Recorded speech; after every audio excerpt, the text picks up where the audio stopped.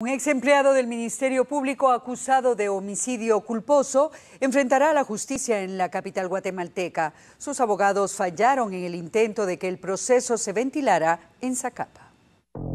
De acusador a acusado, de esta manera se presentará el exfiscal Salvador López a un tribunal de primera instancia de la ciudad capital la próxima semana. Es señalado por el fallecimiento de una persona en julio de este año durante un accidente automovilístico en Zacapa. Por razones de seguridad, un juez de ese departamento decidió que la primera declaración se celebre en la capital. Después de esta citación, el proceso contra el ex jefe de la Fiscalía de Derechos Humanos y otras tres personas continuará en Zacapa.